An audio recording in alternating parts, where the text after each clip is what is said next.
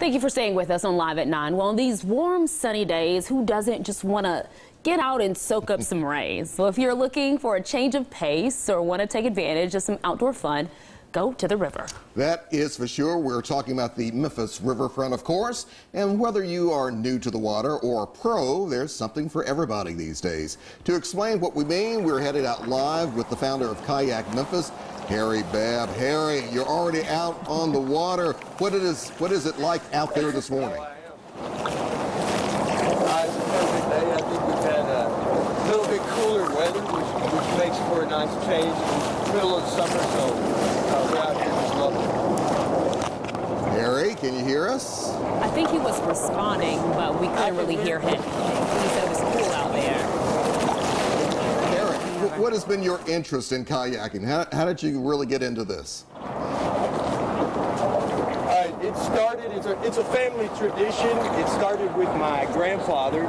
Uh, he actually canoed down to Helena, Arkansas uh, when he was a kid, and, and we grew up uh, boating out here, canoeing and kayaking uh, here, Ghost River, Pickwick Lake, and this has always been a favorite spot of mine, this harbor, and even the Mississippi River.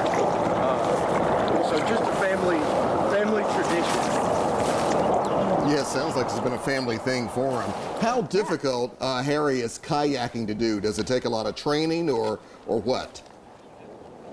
Uh, it does not. We, we try to accommodate uh, all walks of life, beginners, people that want to try this out. We're taking advantage of this still water, still water harbor that a lot of people are confused about or don't realize that it's a great place to start. And there's a lot of cool stuff to see. There's the Memphis sign over here, and, and these boats cannot fill with water and capsize.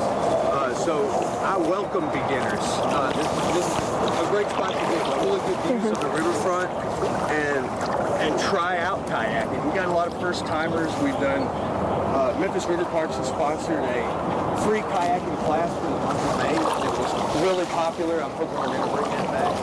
But anybody who wants to try kayaking, Okay, so it's really hard to hear him, but I, I believe he said they have a lot of first timers out there. He's been doing this for a long time. Uh, something pretty cool And some free to do. I love kayaking, Free so I gotta classes get also. Yeah, and I think we have some information right here on your screen uh, in case it was it was a little hard to hear him. Yeah, definitely so. And I wonder how long can you be out there? I mean, is Yeah. it just a couple of hours or, or whatever? But we'll try to get some of those uh, questions answered for you. But uh, very cool event, though. I think uh, I will be there. You will be there. You can come with me. You don't mind?